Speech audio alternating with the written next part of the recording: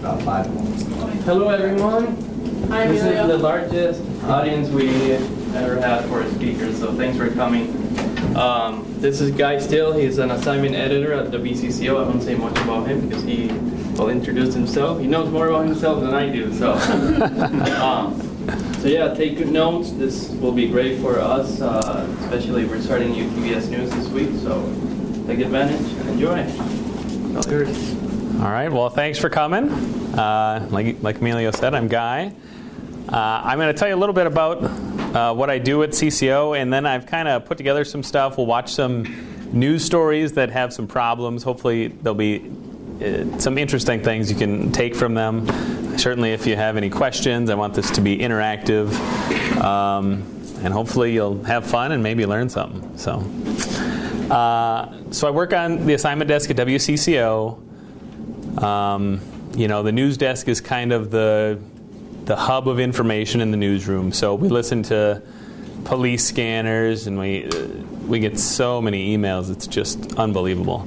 Um, so we have to go through emails, and we still get some faxes and uh, tip calls, crazy people, and uh, press releases. You get a ton of people who want to pitch you stories, you know, because they're connected to a product or something like that, and they want you to do your story. So. Th- there's so many people who are pitching you stories, and then it's also very important on the assignment desk to just be aware of what your competition is doing, what stories they have, what elements of a story they have that you don't have, um, and you need to just, you know, in a world of Twitter and social media and stuff, you need to really be on top of.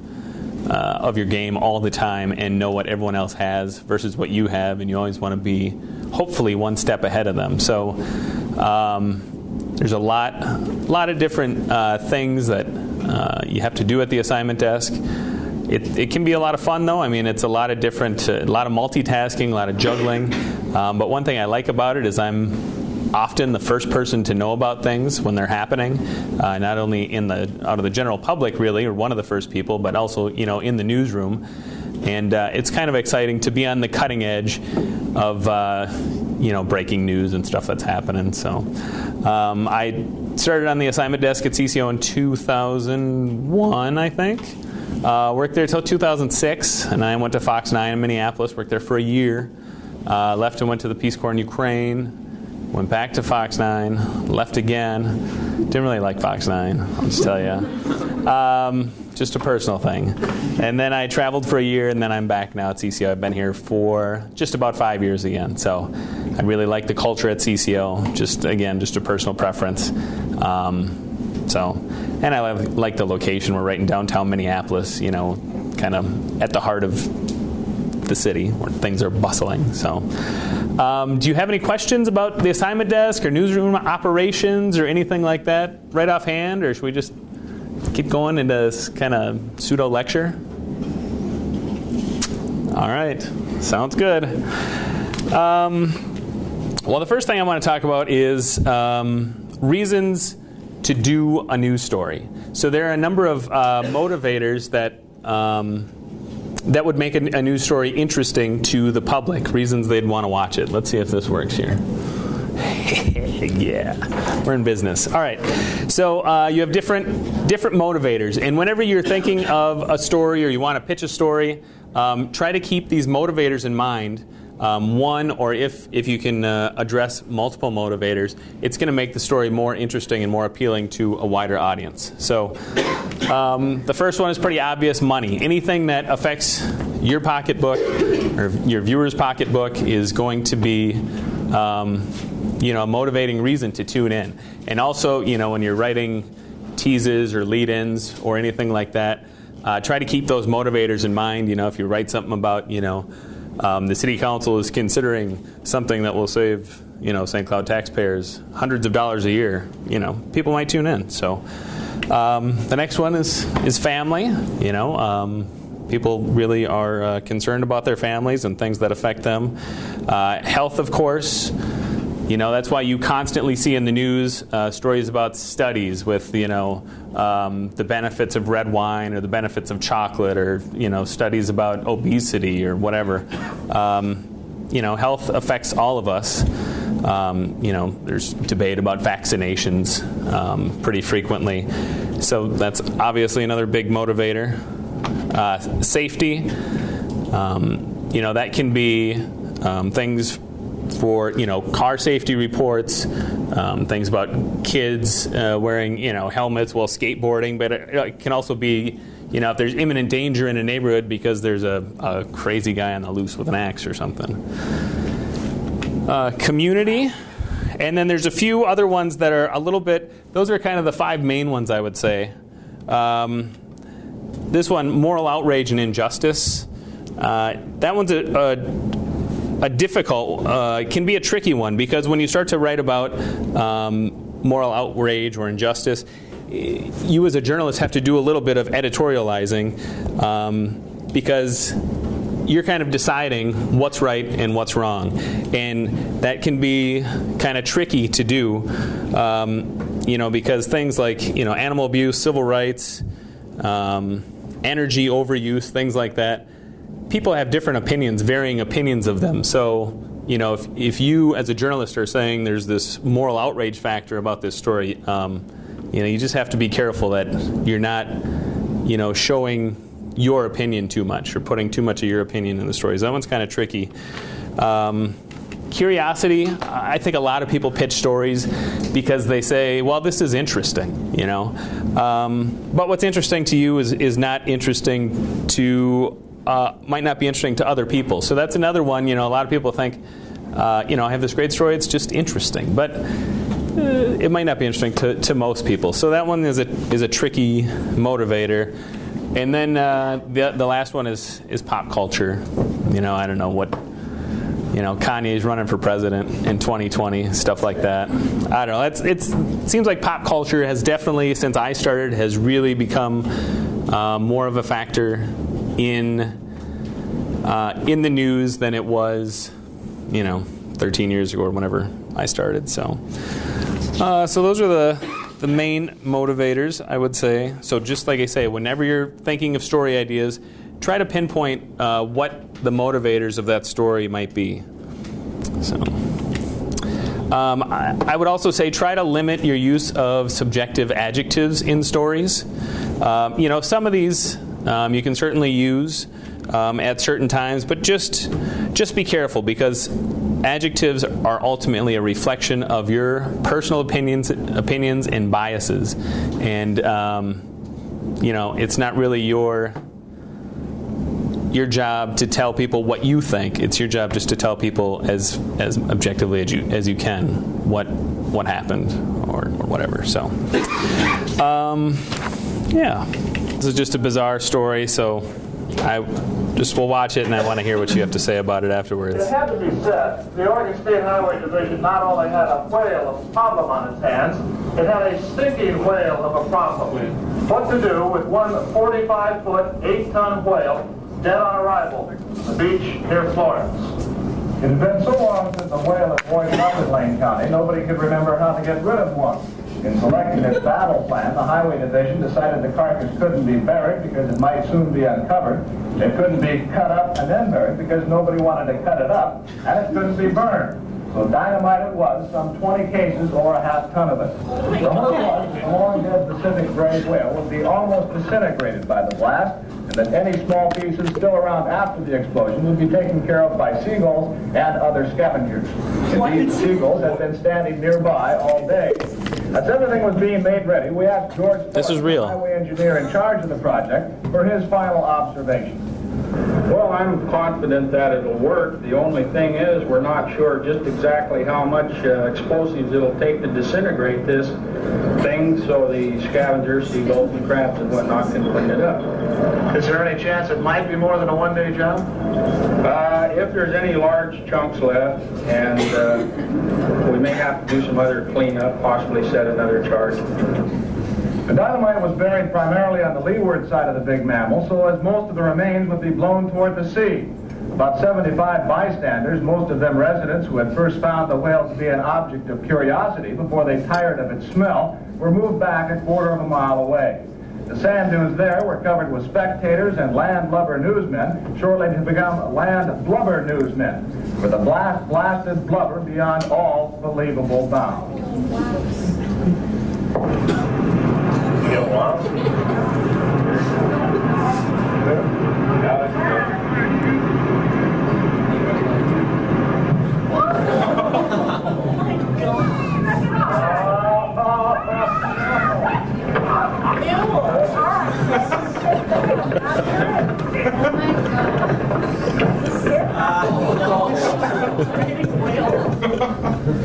camera stopped rolling immediately after the blast.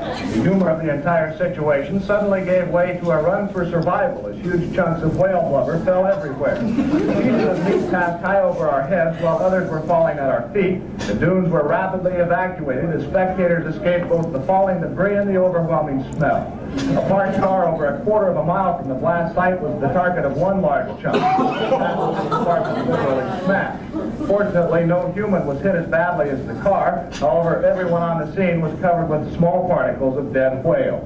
After the success of the effort, the seagulls who were supposed to clean things up were nowhere in sight, either scared away by the explosion or kept away by the smell. That didn't really matter. The remaining chunks were of such a size that no respectable seagull would attempt to tackle anyway. As darkness began to set in, the highway crews were back on the beach burying the remains, including a large piece of the carcass which never left the blast site. It might be concluded that should a whale ever wash ashore in Lane County again, those in charge will not only remember what to do, they'll certainly remember what not to do. All right. So that w- there, there's a reason I showed that, I guess. Um, how would you describe kind of that whole chain of events? Anyone? oh no, we got to see more. Anyone? One adjective. No. Ridiculous. Yeah. Funny. Unnecessary. See, and some people I see that, um, uh, and they're you know they're offended or they they think it's disgusting or gruesome, and so my my whole point in showing that is just to talk about you know going back to my last slide about limiting your uh, subjective adjectives and being careful. Um, you know what you say in stories, like you have to just be be careful about how you describe the exploding whale. Um, you know, because I laughed, a number of people laughed, but it might not be funny to other people. So, just kind of something to uh, to be aware of. All right, so the next thing I want to talk about is just uh, verifying information. Uh, it's it's just very important before you report anything. Uh, you know, to verify its authenticity, uh, especially now, like a lot of news outlets are going toward, uh, you know, are kind of leaning towards what they hear on police scanners and reporting it as a fact. And you know, unless you have confirmed that with an official, I would just be very cautious about doing that. Um, some of them get away with it by saying sources say, which it's not really a source; it's something you heard on a police scanner. But um, and the other thing, you know, stuff on Twitter. Um, have to be careful if you see something on Twitter or Facebook that you know you, you got to verify before you um, before you report it. And even if you verify it with an official, you need to make sure that you um, who you're speaking to and that that person who is verifying that information for you is an authority on that subject and can be someone who can verify it. There was a, a story a couple years ago um, that many of you might have heard about um, where some information was verified, but not with the right person. And it was a big, big problem on TV. So we're gonna we're gonna go to that now. We have new information now also on the plane crash. KTVU has just learned the names of the four pilots who were on board the flight. They are Captain Sum Ting Wong, Wee Tu Lo, Ho Lee Fook, and Bang Ding Ow. And the NTSB has confirmed these are the names of the pilots on board Flight 214 when it crashed. We are working to determine exactly what roles each of them played during the landing on Saturday. Involved in the Asiana Airlines crash These names were not accurate despite an NTSB official in Washington confirming them late this morning. We apologize for this error. Tonight, we want to take a moment and say that we are sorry. Earlier today, during our noon newscast, we misidentified the pilots in the Asiana Airlines crash. We made several mistakes when we received this information. First of all, we never read the names out loud, phonetically sounding them out. Then, during our phone call to the NTSB, where the person confirmed the spellings of the names, we never asked that person to give us their position within the agency. We heard this person verify the information without questioning who they were, and then we rushed the names onto our new newscast. Within the last few minutes, the NTSB issued this statement, quote, the National Transportation Safety Board apologizes for inaccurate and offensive names that were mistakenly confirmed as those of the pilots. A summer intern acted outside the scope of his authority when he erroneously confirmed the names of the flight crew on the aircraft. We work hard to ensure that only appropriate factual information regarding an investigation is released, and we deeply regret today's incident. Appropriate actions will be taken to ensure that such a serious error is not repeated. Now, even with this statement from the NTSB, we want you to know here we accept full responsibility for this mistake. We issued an apology later in the new newscast. We also apologized on our website and on our social media sites. The fact is we have a lot of good people here at Channel 2, and behalf on all of us, on behalf of all of us, I want to tell you that we pride ourselves on getting it right and having the highest of standards and integrity. Clearly, today, that did not happen. We made a mistake. So again, from all of us here at KTVU, we can only offer our sincerest apology in this case. We have no So you Yeah, it was like that was very like. you never want to be anyone involved with that. You don't want to be that anchor. You don't want to be that producer. You don't want to be the person that verified that information.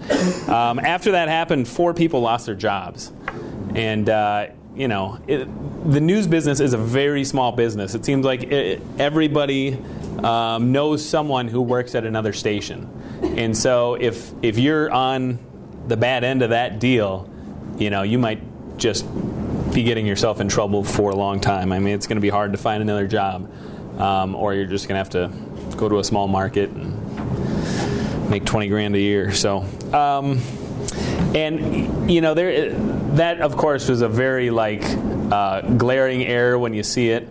Um, but I can see how that can happen. Uh, you know, the news business is very competitive. Everybody wants to be first. But I would stress it's always important to be right, uh, more so than being first. And yes, Which people lost their jobs? Was it the female anchor that read it? no, she did not. It was, uh, let's see, I have it somewhere here. I think it was like a producer. Uh, let's see, here it is. An investigative producer, a special projects producer, and then another producer, and then also the producer of the noon show uh, left for uh, health reasons. So it was all kind of off air people. I mean, you know, it was breaking news, so they just piped that into her ear, put it on the prompter. I mean, she had no chance to, you know, to do anything, so it's not on her at all. Um, and you know, like I say, even though that was like a very obvious error, um, and that you know, every newsroom was, was joking about that, obviously, but it, uh, but it's not funny if, if you're involved, of course. But there's other there's numerous other instances where um, news stations report stuff that isn't true. There was a Fox, uh, the Fox TV affiliate in New York City. Um, reported that the iPhone 5 would come with a holographic keyboard, and they even showed video of it.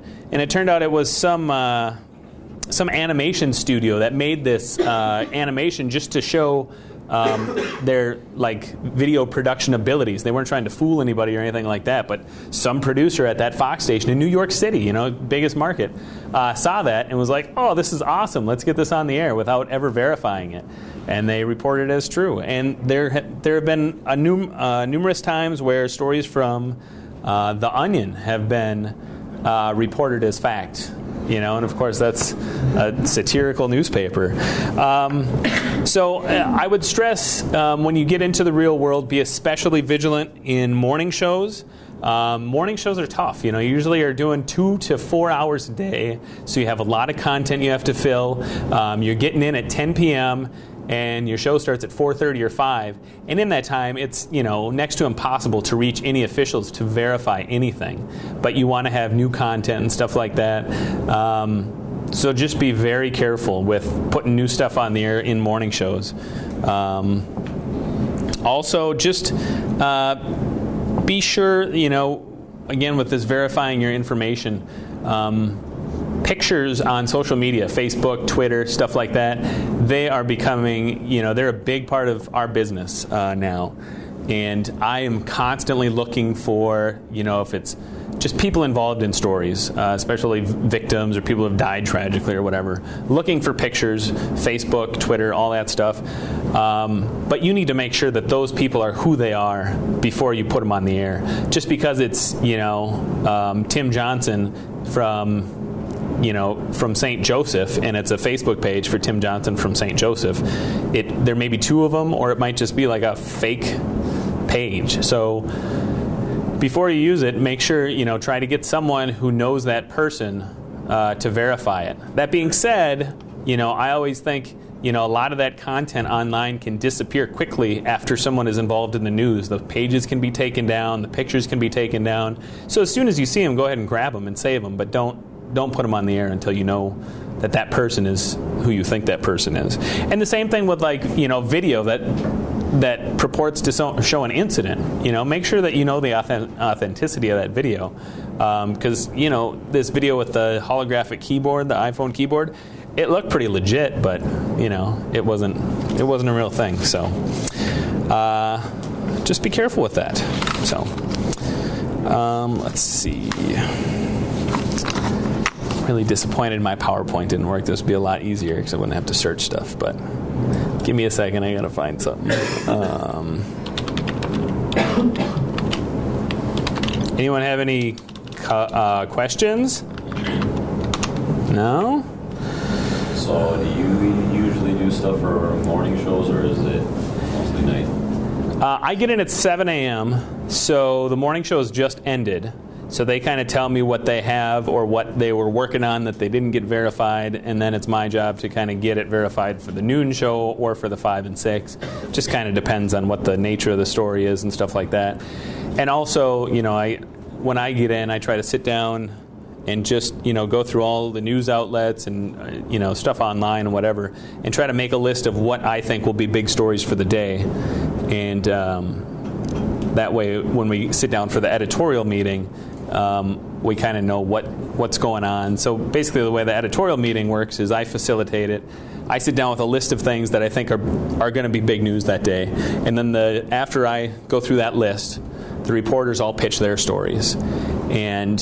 Um, once that's done, basically what happens is the stories that kind of have to be covered are assigned first, and then the other people who are unassigned will get their stories afterwards.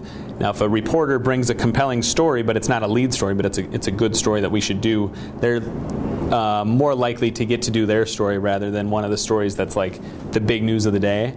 And, you know, usually the big news of the day are the, you know, not usually, but often they're like the tragic stories or the stories you don't want to, you don't necessarily want to cover. I mean, nobody wants to, you know, go to some grieving widow's house and knock on her door and ask her if she'll share a picture of her husband and talk about what a great man he was. But somebody has to do it. So, that being said, if you want to be a reporter, bring stories every day, otherwise, you're going to get stuck with those stories. And inevitably, you will at some point have to do those stories. I mean, it's just the nature of the business. And um, I mean, they're lead stories, they're important stories, but they're not necessarily pleasant or comfortable stories to cover. So. Yes. When you come across stories at the desk, do you, I mean, what percentage of you verify what percentage like goes off to producers? Do you guys kind of work hand in hand or you just do it all yourself or? Um, usually the producers don't have time to verify stuff. So usually, uh, I mean, it depends on what it is. If I can do it relatively quickly, I will do that. Um, but if it's a story that maybe takes more legwork, um, you know, we'll give it to a reporter. And there are times that we assign a story to a reporter and then the reporter ends up not being able to turn that story.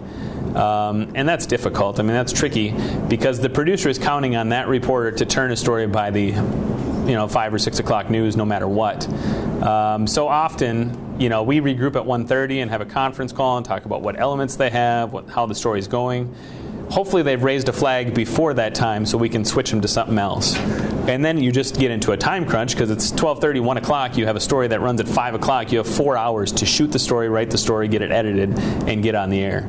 Um, so it can be tricky.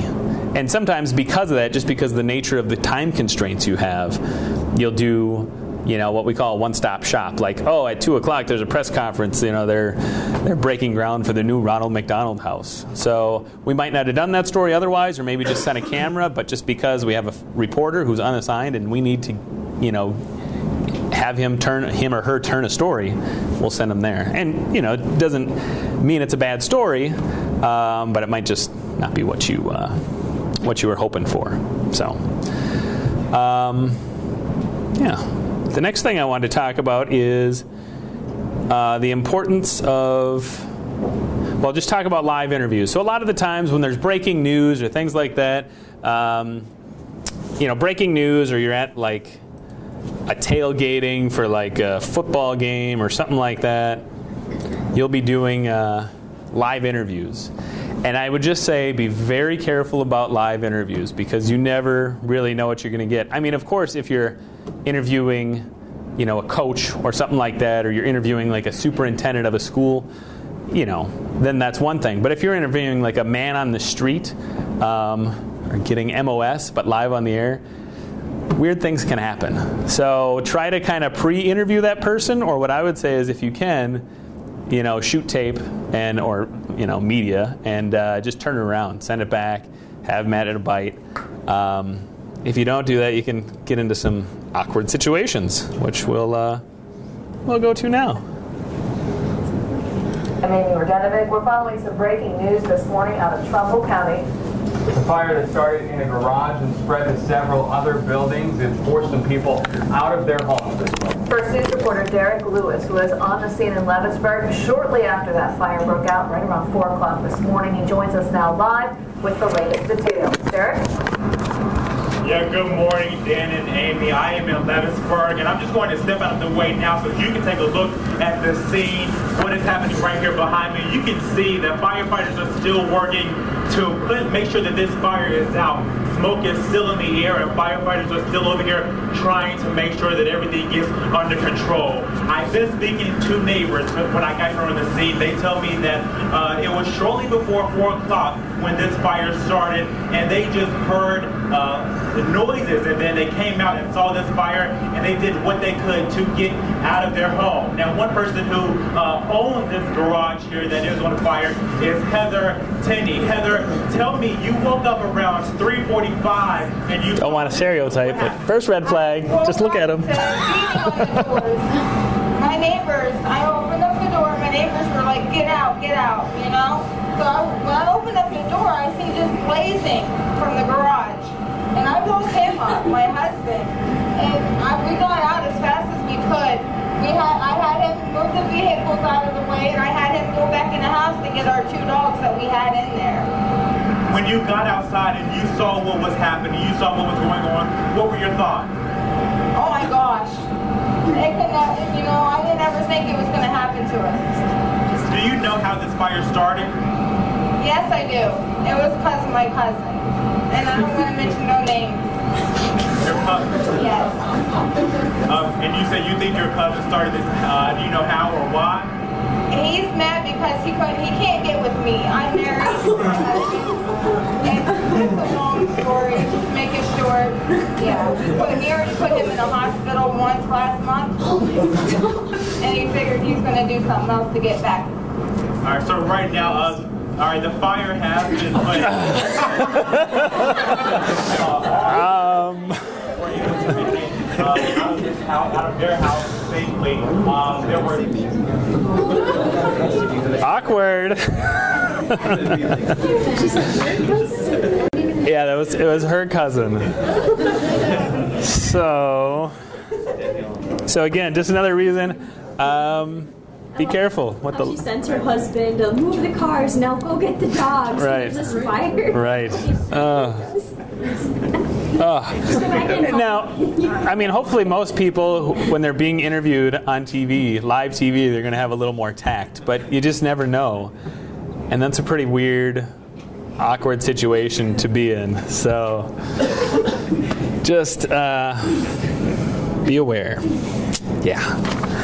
All right. Um, the next thing I want to talk about so, we were talking about morning shows, and. Uh, you know, uh, inevitably, if you end up being a producer or something like that, you may end up on a morning show at least to start, just because they're the least desirable um, for a lot of people because it's overnight hours and stuff like that.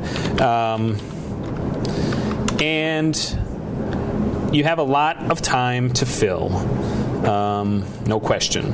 And so, a lot of a big part of uh, morning shows are guests and just you know you'll get a number of people soliciting you to be guests in your show um, you'll get what they call satellite interviews you know where you can talk to uh, the star of some reality show because they're doing um, satellite interviews to promote some like new dog food or something. So you get a lot of these pitches um, for guests. And you know guests are a big part of the show because they fill up time. I mean most guests are going to be most guest segments are like three minutes. And out of an hour that you know it certainly helps because you're not going to fill that whole hour with news. Um, but just be careful to to uh, vet uh, any potential guests make sure they say they are who they say they are now instances like this one that i'm going to show you are, are pretty rare but that doesn't make them any less embarrassing so uh, this guy um, he got on. Well, I'll just tell you before we uh, show you about him. He got on to I think five television uh, local TV morning shows, and uh, one of them was in Milwaukee, which of course is a pretty pretty big market. Most of the other ones were smaller markets in Wisconsin and Illinois, but right in this area. Um, and it's it's funny to watch, but again, it's embarrassing, and people may have lost their jobs for this. I'm not real sure, but there you go. It's going to be good stuff. Oh, and I'll say this was like the day after Thanksgiving, which is a Friday. It's a holiday, so there's even less news, even harder to fill a show. So people are like struggling, and when this, you know, so this guest offers to be on, they're like, oh yeah, we'll take it. But got to make sure they are who they say they are. A few days past Thanksgiving, but chances are good you probably still have a fridge full of all those leftovers. So this morning you're in luck. Chef, Chef Steve Guerke is here, author of Leftovers Right, making a winner of last night's dinner. I'm self-taught. I did not go to culinary school, and I'm kind of unorthodox. Uh, people compare. Are you familiar with uh, G.G. Allin? Do you know? Can't say I am. Tell me. Okay. How about a mashed potato ice cream cone? What do you think about that? That's fun. All right. You put a little scoop of gravy. It can be room temperature because your hand kind of warms up. It's like a, a drumstick almost. You know, like one of those frozen things. Oh, yeah. Just put in some of this. There's that statistic that, that around the holidays, around around Christmas, especially between Thanksgiving and Christmas, one of the highest suicide rates, and uh, I think part of that is because of the stress of what are you going to do with these leftovers. So some of the uh, recipes in here are, are vegetarian. It's fine. Okay. For me, it's like part health reasons, but then also you read things like uh, the average person eats like a pound and a half of feces a year. Yeah, that's good. I don't think you. You just preached a song called uh, a turbo lover. Well, I call this turbo gravy. It's a spoof on that, and it's basically taking gravy to the next level. Why don't you give me a hand here? This is what you do. You're Okay. basically just gonna put it, put like some of your ham in here. I'll put all of it in. I want you to just scoop a little bit of the pumpkin pie. Try not to get the crust in too much. And I'm gonna put in a little extra corn here. Okay. And then like even like fried chicken, put it all in there. Even if your mashed potatoes have butter, they're okay? Yeah, it's All fine. right. It's all gonna come out in the wash. And then add more gravy. Wow. Of course, we need more gravy. Yes. Basic gravy. I'm using um, 2%. You can use skim for a heart-healthy menu. Okay. And of course, don't forget your cranberry cherry on top. I always do a wrap. That's kind of a. Uh, That's easy. That's yeah, like it's like uh, it's. Uh, can you give me a beatbox? Like a,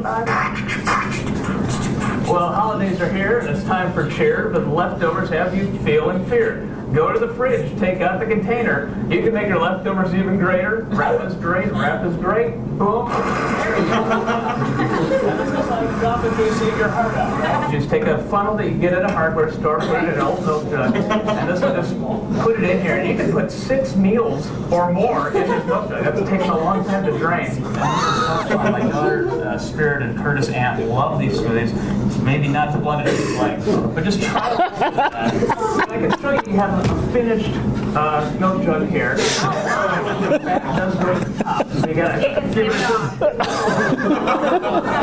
Today, you are going to be at Barnes & Noble at 1 o'clock. He's going to be signing copies of his new book. Actually, yeah, actually, I should say I just checked my email before, and I might have to cancel the signing because the books have not arrived. Oh, well, okay, never mind then. My daughter won't even try this stuff without the uh, without the whipped cream. Like, Oh. you're gonna have whipped cream left over, right? I'm so sorry. It's Oh, okay. God. Oh. Let's Dr. Mark for a check of our weather. Sounds like some great recipes there. Try.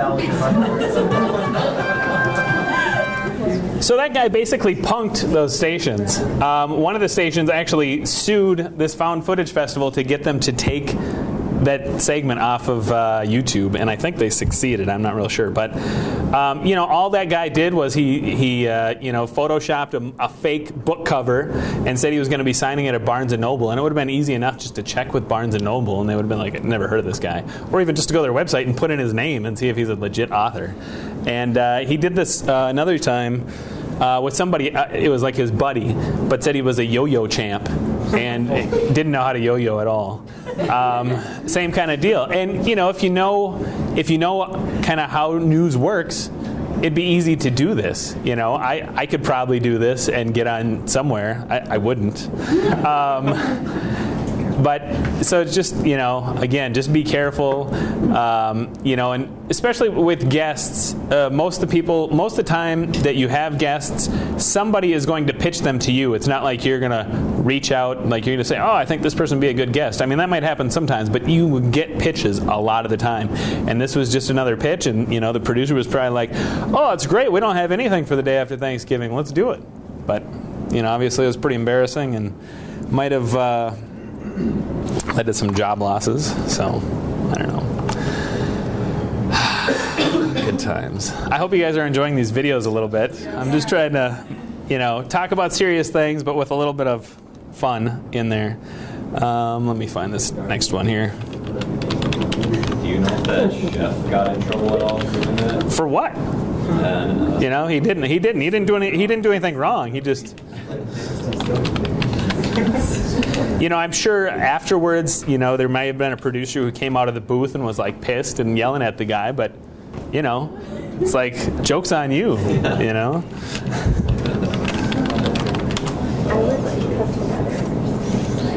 I know you. That's the thing. Like, as soon as you know, if you're a producer, as soon as you know that you're getting punked, or as soon as you're, you know, this weird interview, like, oh, well, it's my cousin who's trying to get with me, like, you, you need to drop that and go back to the studio and move on.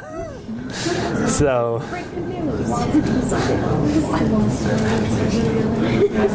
Um, all right, the next thing we're going to talk about is a little more serious. Um, if you if you want to be a reporter, you're going to be out in the field a lot, um, and you know usually uh, right now, like even with us at CCO, most of the crews are what we call a one man band. So you got one person who is shooting. Um, you know, shooting the live shot, and they'll either have a backpack um, transmitter or they'll have a live truck. So they're doing all those duties, and then you'll have the reporter. And especially when it's time to go on the air, like you know that photographer, he or she has got their fing- their, their eye in the the viewfinder, and the reporter's looking into the camera, listening to the IFB, and you know you're in a public place, and there's stuff going on around you. So all I would say is just try to be aware of your surroundings. Um, you know, if if something is a tense, more tense situation, or there's just a lot of people around, um, we'll often send three people. Um, you know, one person will kind of run the truck, one will shoot, the other one will be the reporter, and that person who runs the truck, once everything's set up, they kind of are there just as another set of eyes or to run interference if people come around and want to mess with you or whatever and it's it's happening more and more common. Uh, it's more and more common that these live shots are being interrupted. Um, and I'm going to show you one. This one's actually a spoof, um, so this didn't really happen, um, but it looks pretty legit. It was like on Jimmy Kimmel. But it's it, it stuff like this does happen quite quite frequently. So I'm just showing this one because it's it's funnier. This is Madison Brooks for NBC Entertainment, reporting live from Hollywood Boulevard. For today, we are talking to Breaking Bad's biggest fans about the season finale last night, and they're shit. How are you? Funny! Bye! Son of a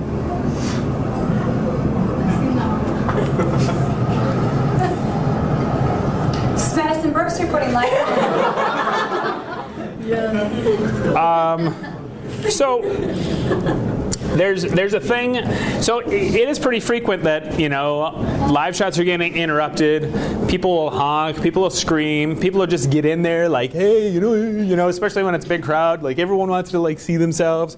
There's a thing. Um, going on, especially on the West Coast. If you like look up FHRITP, we won't talk about what that means. You may know, but it's it's it's it's it's happening all over the place, and these people are interrupting live shots constantly. And uh, it happened actually at the state fair.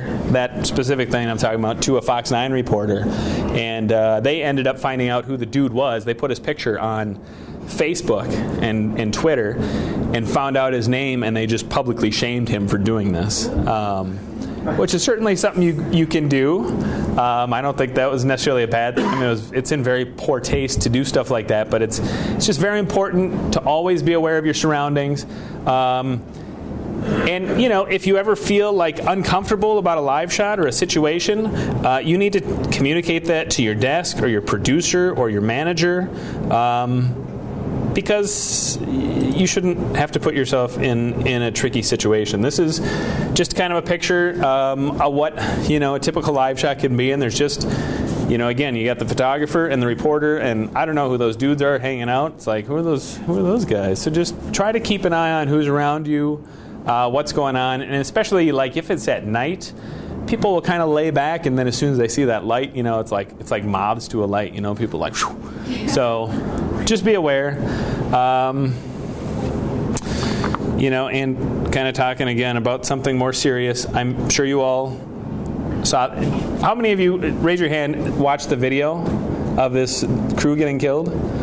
Did who watched who saw the video of the from the gunman's perspective all right. Well, when this when this happened, so it, if if you don't know, this was uh, right before this reporter and her photographer were killed um, on the air. Um, the other woman was shot. She was being interviewed. She was shot in the back uh, by a disgruntled employee who used to work with them, and he had a grievance with those two people specifically. He said that um, part of the reason that he lost his job was because of them. So he uh, he just went to a live shot. I don't know how he stalked them or whatever, or just saw the live truck, or I don't really know the details with that, but and uh, he shot them when they were on the air. And you know, again, it was just in the situation. It's like 6:30 in the morning or whatever. There's nobody around, not really paying attention. This woman, she was just interviewed on Fox News. She said, you know, she noticed there was another guy. She kind of saw him in his periphery, but didn't pay attention to him. You know, and this guy obviously probably had some mental illness, was very demented. Um, stuff like this, I don't want to scare you, is extremely rare. You know, but things do happen. There's another out on the West Coast again, San Francisco, I think.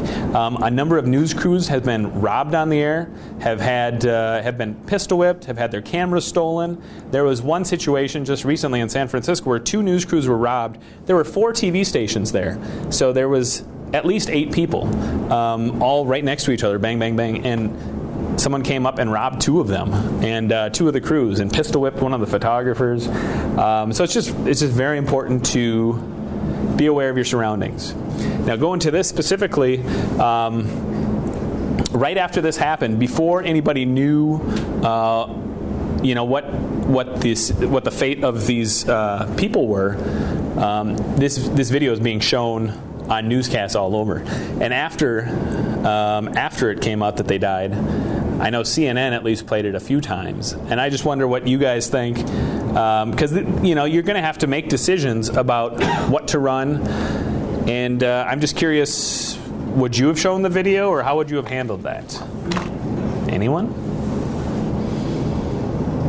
I probably wouldn't have shown the video. I did see when I was watching some coverage of it, they did show a shot similar to this. It was a little bit earlier. Like the lady didn't look scared. It was kind of just the two of them standing there to show like what the scene was Mhm. when it happened. But they didn't show the video or anything. It was just a still frame of the how the interview was set up. And I would, that was probably as far as I would have went, is just showing.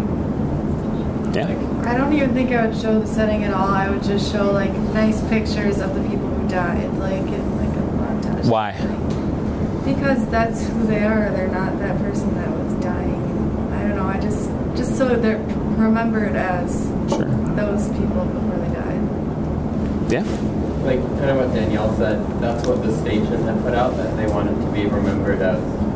This, they put out a photo actually of the two Yep. people that were shot. Yep. So I think it's important to not only remember them how they actually were, but that's a terrible way to portray it. Yes. I also feel like that's what the shooter wanted.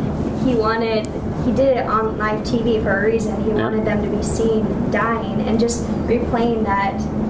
That's you know finishing what he wants. Like he wanted it to be shared. He put it on on social media, and that was the goal. So buying into that is obviously the wrong thing to do. Not only does it not look good for the people who died, but it's just the wrong thing, in my opinion.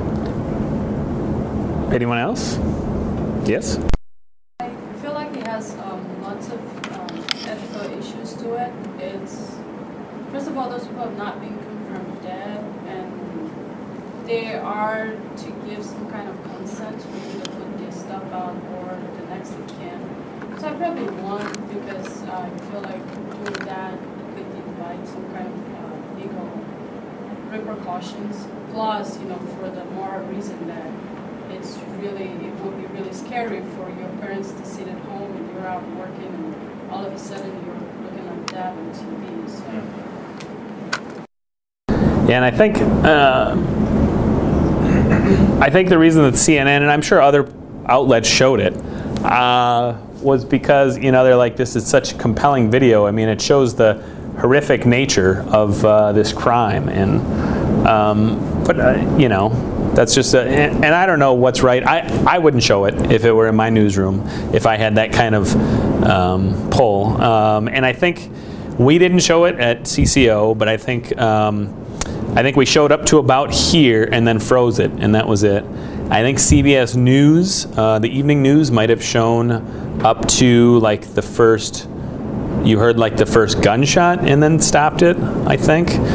Um, so it's just you know it's something to think about. Um, you know what's too graphic, and there's other situations too. Um, and you know you, you need to ask yourself like does your benefit does your viewer uh, benefit um, from seeing this or does it advance the story in some way and if it doesn't um, and it just it's salacious video uh, you know you should probably refrain from using it yeah Isn't it just considered journalism for everybody else that showed this video? I mean, they're technically just doing their job. I mean, it's no different than photographic journalists who are taking all these raw pictures of like the earthquake in Haiti or something. Isn't this necessary? Isn't this similar to that in concept? Yeah, I don't know. I mean, you know, with video, it's it's difficult. I mean, you're you're showing like, you know, the last moments of somebody's life, you know, and even that I think can be more jarring than, you know, showing, uh, you know, the aftermath where you might see, uh, you know, dead bodies. Like there was a photo in. Uh, that a Hungarian photojournalist took uh, of a two-year-old boy who was pulled out of uh, out of the sea. who was a Syrian uh, refugee, and he, he had drowned. And uh, he took a still picture of this this child who was just limp in a policeman's arms, and that was circulated uh, a week or two ago around the world. And you know, I think even that um, you're not you know, I think that's different than if you were to show the video of this child drowning. You know, um, that still image uh, can really, you know, pull at your heartstrings and, and really get to the point about, you know, the the situation in Syria and how difficult it must be that people are willing to um, to risk their lives and their children's lives to get out of there. And I think that that one image alone has re- really brought attention to the to the refugee crisis. Whereas I think, you know, video it just. Uh, I just think you have to be real careful, you know, what you show. Um, and you know there will be plenty of discussions. There's always discussions about what's appropriate, what's not appropriate. Yes. But wouldn't that approach help politicians understand that inside of, I mean, part of what's happening in Syria is because of them. It's because of them not uniting with each other and not taking action when it is necessary to do, to do so. So showing those pictures would at least uh, show the rest of the world in the United States or invested countries that this is what we can do something about, but we can, what we don't. Yeah, and I I think using that picture was was a good thing. You know, I just like I'm saying, I just think the video.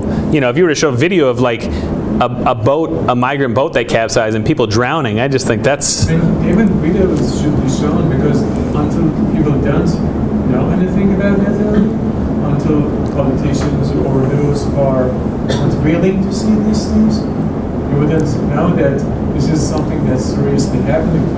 So nobody would act about it unless they would get the sense of what's going on. Sure.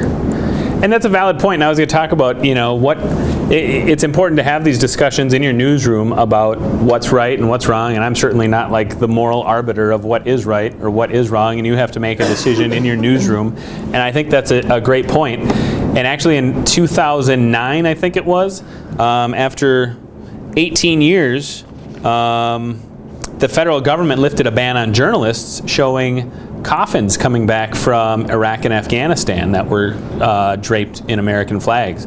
You were actually not allowed to publish those images for 18 years.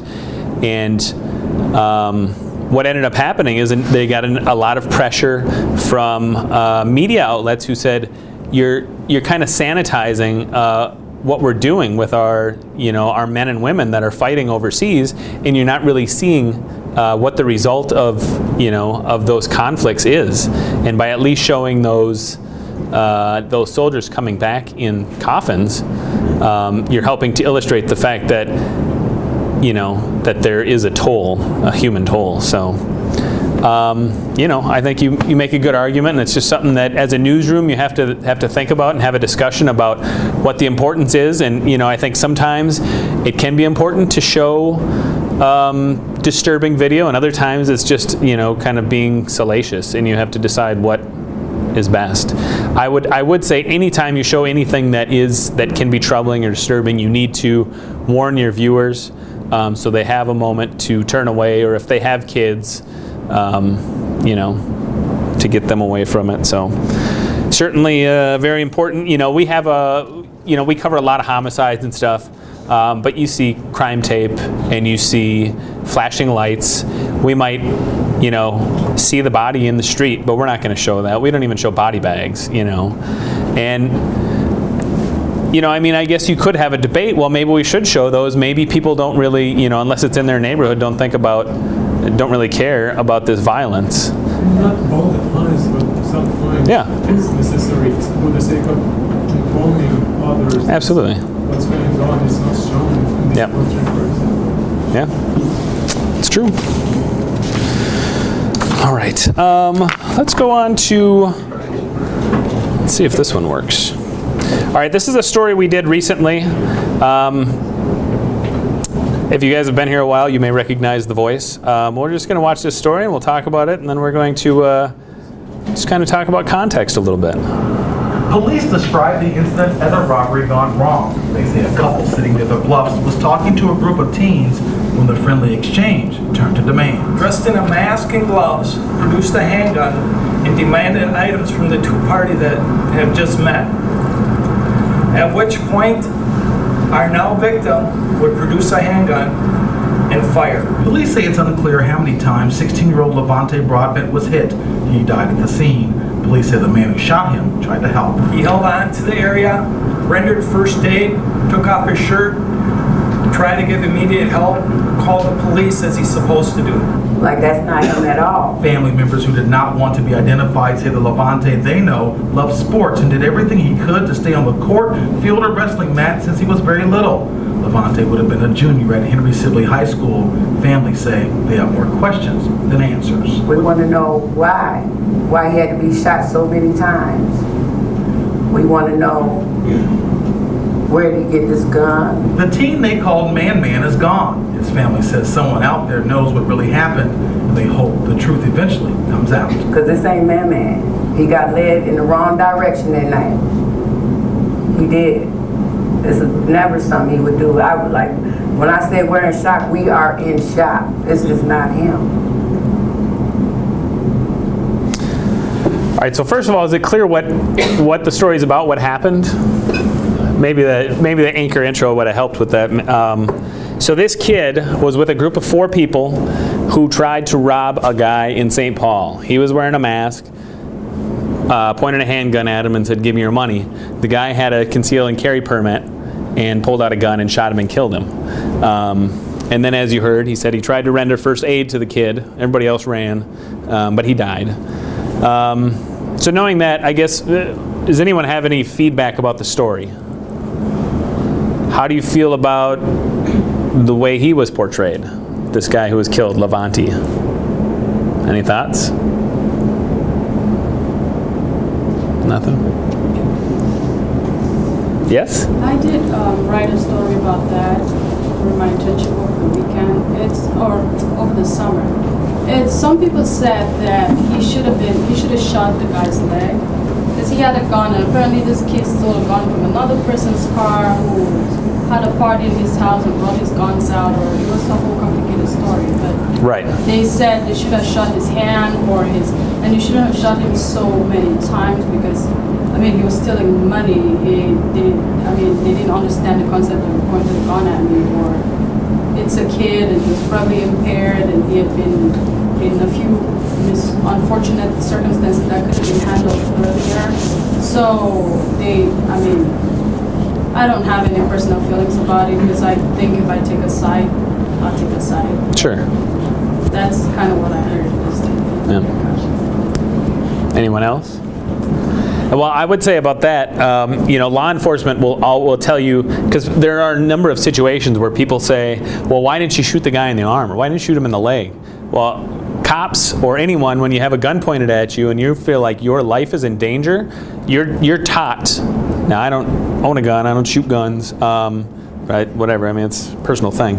Um, but I have. They tell you to shoot at the biggest part of the body, and that's the torso, and that's just because you're less likely to miss. And pistols, especially, are not terribly accurate um, from any uh, any distance, really. Um, so if you're not pointing at the biggest part of the body, you know you risk missing and then getting shot yourself. So that's why he did that. But uh, what what I was curious about more so was the way that we portrayed the dead the dead kid. I mean, it's tragedy. He's 16 years old and he's dead, but he he did point a gun at a guy and i just I, I wonder like for example we use these pictures and i just wonder if you know and, and those are the photos we had at the time um, but the next day so after the story aired yes Right. And those, are pictures that were provided by the family, which is all we had at the time. And he probably was 12, 13, and of course he looks like, you know, kind of an all-American kid. And certainly when you're at that adolescent stage, a lot can change between like 13 and 16. Um, so after this story aired, you know, and I'm not faulting um, anybody, um, but after the story aired, we received some criticism on Facebook, and people said, "Look, you portrayed this kid as a victim. He had a gun. He tried to rob somebody, and he got he got killed for it. I mean, that's on him." And uh, and then these pictures were posted online, and that's the same kid. Um, and that very well could be the gun he had when he shot and killed the guy, or shot or pointed at the guy. And I just wonder um, what you think of these pictures, or think of the story now that you see these pictures. Um, do they provide more of a context, and do you think we had a responsibility to show these the next day? These photos, we didn't. Well, that's a good question, and I'm not really sure. Um, I think part of it is, you know, we did the story, say we did the story on Wednesday, and then we got these pictures Thursday, and there really wasn't anything new to the story except we got these photos. And I did send them to our managers and said, hey, just so you know, we're getting some criticism online. There's these photos that put this kid in a different light than kind of what we did yesterday. And I, I didn't really hear anything back. So I, I, I, and I don't know. I mean, what do you think? Do you think we should have shown them? Well, then it's like hard to just slide through. Right. I mean, that's the tricky thing. Like, oh, we're following up on a story yesterday. Here's some other pictures, you know, but. Like, how do you have it? right. Single. The happened with like Michael Brown, for instance. They showed pictures that painted him in a negative Yep. light when he was the victim, and, Yep. and the studio got criticized for that. Yep. So no matter what pictures you show, I feel like you'll get criticism. Sure. And it's it's important, I think, um, whatever the story is, to kind of you know you don't have to show these pictures or these pictures, but if you can, show them both. You know, show you know. Uh, any person is not ident- is not um, you know identified by one photo. Um, it's just a snapshot. Yeah. I would say that I would show it in the in, at a time later after the story has happened to show that what the drug is doing to Americans. Sure. All right. It's in an investigation and investigative. Yeah. And that's true. That's what that's. Right. Yeah. And I think um, going back to the Michael Brown thing, you know, there was a big after that. Uh, Michael Brown incident happened. There was a social media campaign um, among blacks in the U.S., and they would show two pictures of themselves. I don't remember. There was some hashtag. Which picture would they show if I got shot or something? And you know, one would be like, you know, a dude walking down with his cap and gown, and the other one would be him like maybe wearing a hoodie or something. And they put them next to each other, and that was a big thing on Twitter uh, right after Michael Brown because um, you know a lot of people feel like he was unfairly portrayed uh, in the media. So it's it's important, I think, you know, just to think about the entire context.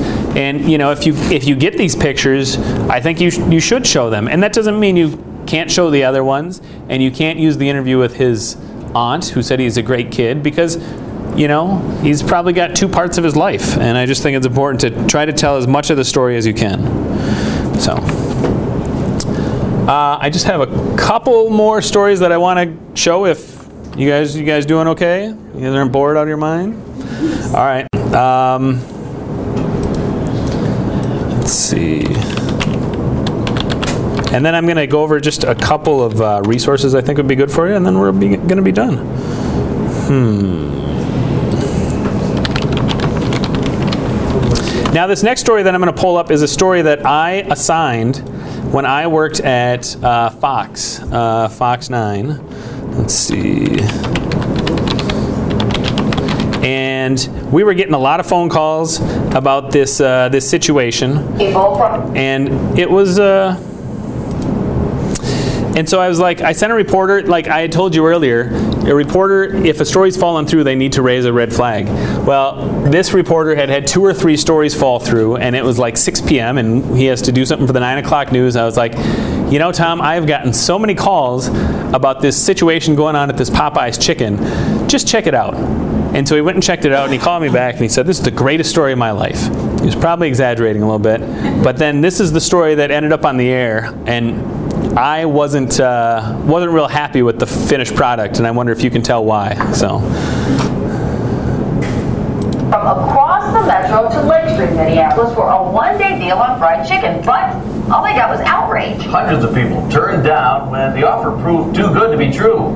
Tom Lyden is live along Lake Street, where at one point even police had to be called in to help. Tom, what happened out there? Oh, I cannot believe this. This is a crazy story. I haven't seen people this passionate about something in a very long time. This is the only Popeyes franchise in Minnesota. So when people heard about a great deal on fried chicken, they came here in droves today. In fact, they are still coming here tonight from all over the metro. Problem is, there is no deal, and a lot of customers are crying foul.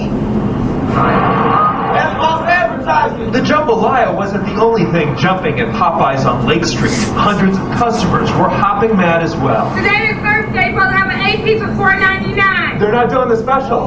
They said they're not participating in it whatsoever. So we went live. The homemade signs in the door said it all. This local chicken franchise wasn't honoring a nationally advertised Earth Day 8-day special.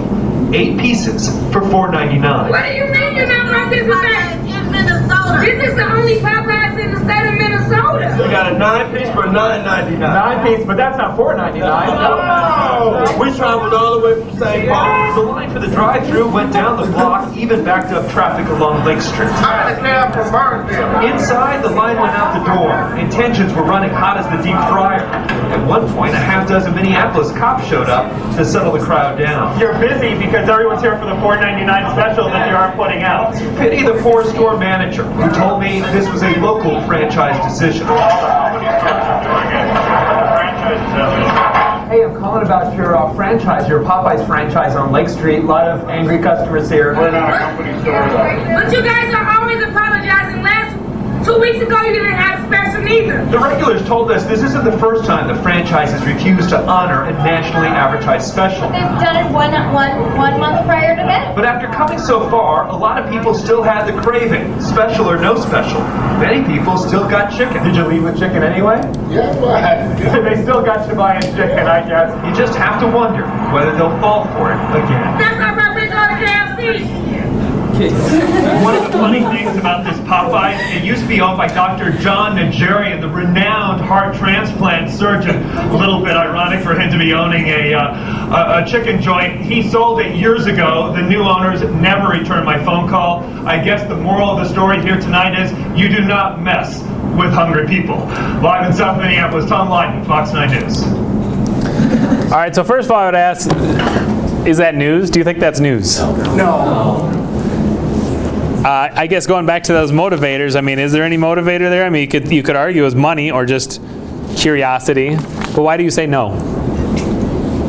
I mean, I was just gonna say I think Popeye sucks in general, but Anyone else? I mean, what, what? Let's say, I mean, what did you? Did anyone have any strong feelings about the story itself, the way it was told? Yes. Didn't cover the other side of the story. I worked at a McDonald's, okay? People get really mad when you don't cover like national things like that, but there's a reason they're not doing it. So maybe they could have looked into why they're not doing it or like mm-hmm. why because they, all they did was cover why these people are mad and why they're like freaking out, but they never tried to see why they were doing this. Well, they were uh, Sure. Did show the manager, didn't they? Yeah, they did show. They, yep. They did briefly. Yeah. Okay. You, you anyone else? Yeah. I mean, first of all, it's not newsworthy. We all know that, and I mean, it went on for a long time. They must have been really light on content, but I didn't like the fact how all of his B-roll and everything that I filmed it tended to lean towards uh, one ethnic group, and that falls into a stereotype. So then you have to be uh-huh. careful about those lines that you're falling into. I mean, that could just, I mean, that could make a lot of people angry. Right. So Yeah, I and that was one. I saw it, I immediately felt like he was perpetuating a stereotype. And the other thing I didn't like about it is I felt like he was kind of inciting some people. Like, you know, he had that group outside and he was like, well, you know, they have eight pieces for $9.99, but that's not $4.99, right? It's like, yeah, it was, so, you know, and that is definitely not your job.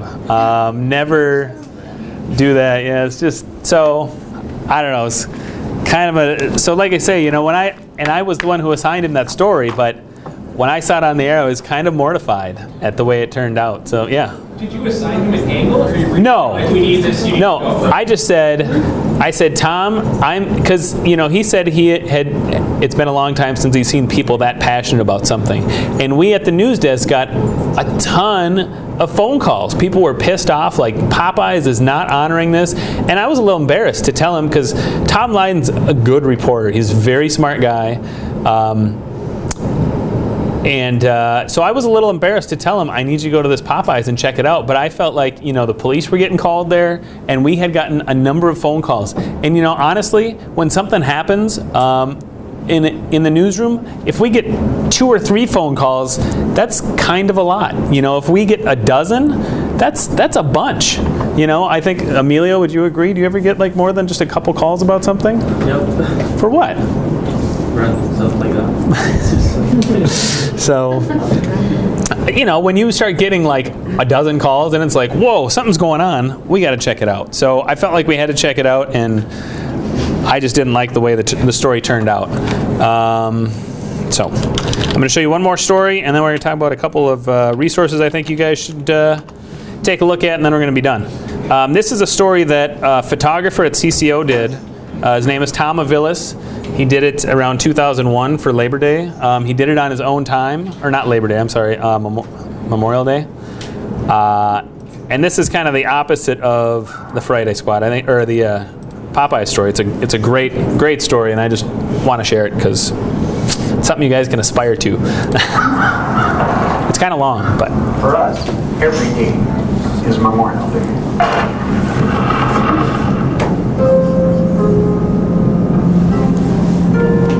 Have you seen this? Did I make you watch it?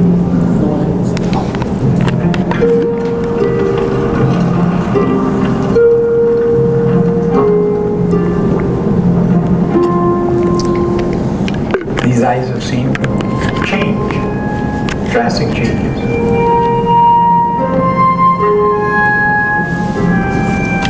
Over the last 21 years, we have served over 34,000 funerals here at Fort Snelling National Cemetery. Horror, horror! From Monday through Friday, we try to take care of our comrades, whether we know them or not. Ready! We have one common link. Hey! We serve this country to the best of our ability.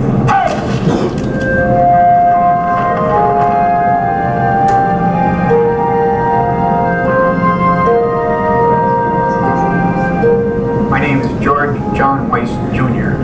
I served the tour of duty with the United States Marine Corps right at the closing days of World War II. Today I'm serving as the squad leader for Friday here at Fort Snelling National Cemetery. My name is Kevin Burns, and I serve in the United States Marine Corps, First Marine Bill Gudenkauf, served in the United States Navy. I served in, in Korea. Served during the Vietnam War, in the Marine Corps in World War II. I was a gunner's mate, third class. Served on a submarine base. U.S. Army for two years. Guadalcanal and Okinawa. North Africa, Italy, France, and Germany. We are the Friday Squad. We're not individuals. We are the Friday Squad. We're a group of people Who are all veterans of each of the military services. And it is strictly a volunteer organization. Present horror! To honor the veteran who has served for his last time. We don't do it for notoriety. We do it because we felt that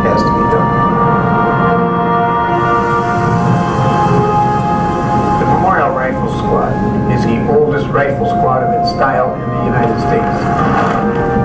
We started on June the 19th of 1979 with sixes. We had two funerals. Today, we have 120 men on this rifle squad. We average 10, 12 funerals a day. Of the original six members of the rifle squad, I was the youngest, and I'm the last survivor.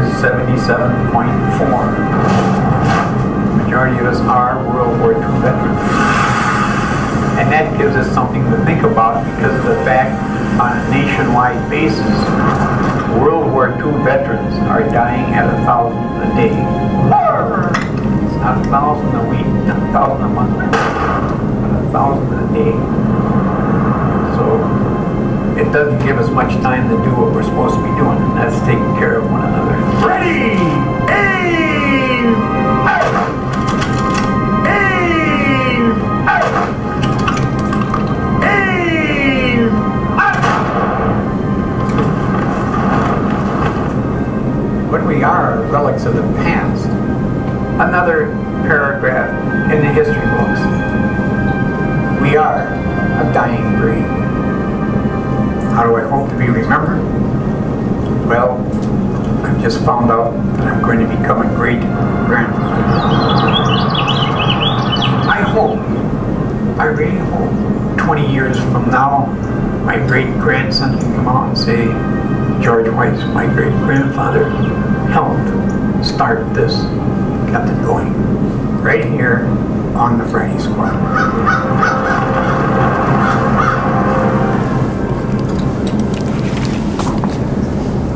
So I just wanted to end with a, a good, a really good, well done news story. Uh, I don't know what you guys thought of that. It's pretty, pretty good. Um, Tom did that on his own time. He's still with us. Uh, he works on special projects, which are like longer form stories.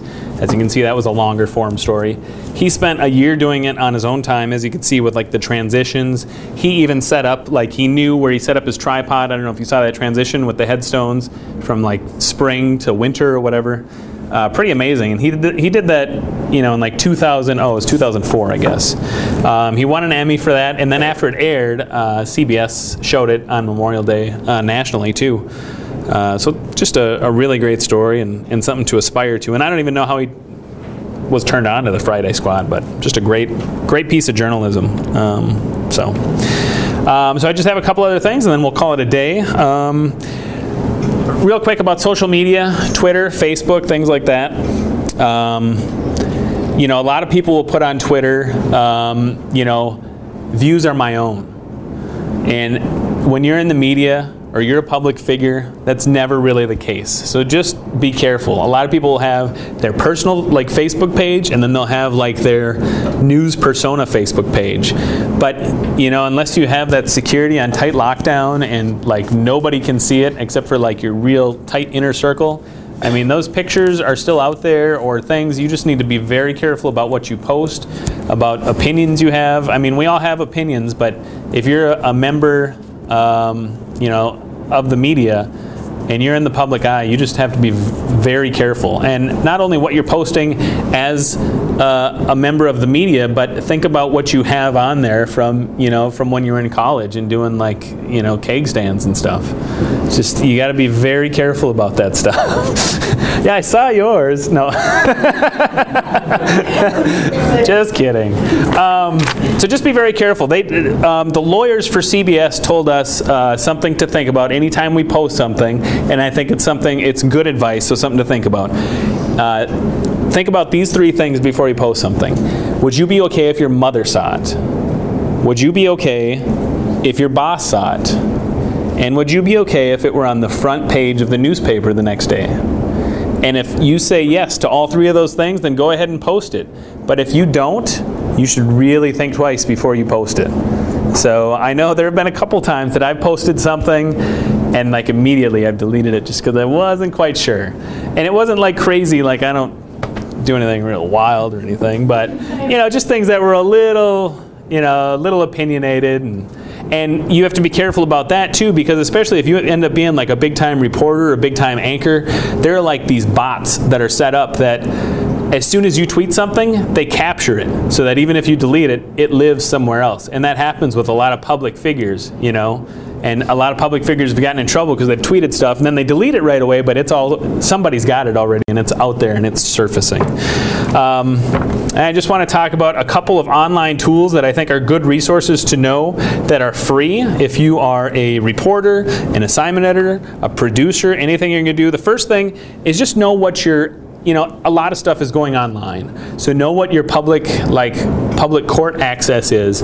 You know, online right now in the state of Minnesota, you can get Supreme Court opinions, Court of Appeals opinions, um, and they're all just at your fingertips. You can also get limited court information, you know, court dates, um, if people have been charged, stuff like that. It's free, it's online. There's, you know, for sometimes you have to know the case number, which you can't get unless you call a courthouse or go to the courthouse.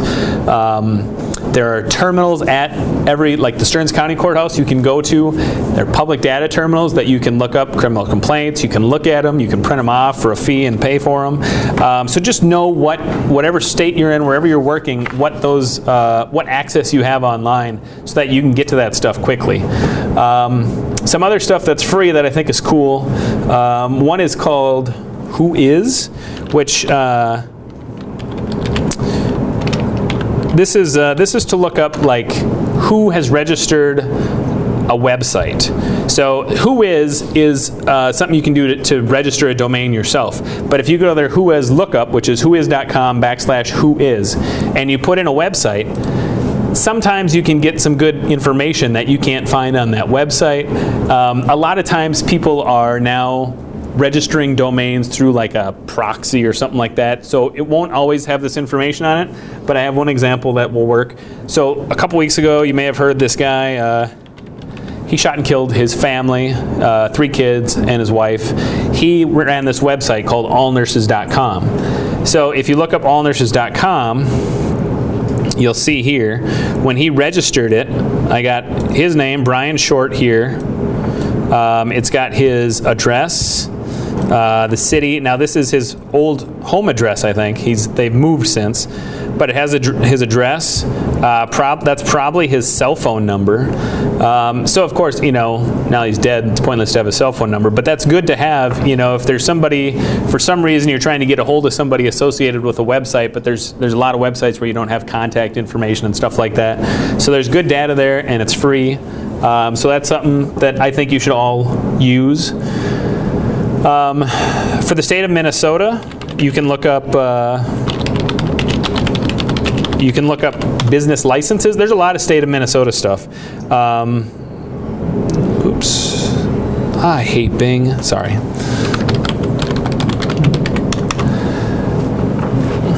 Maybe you guys Bing.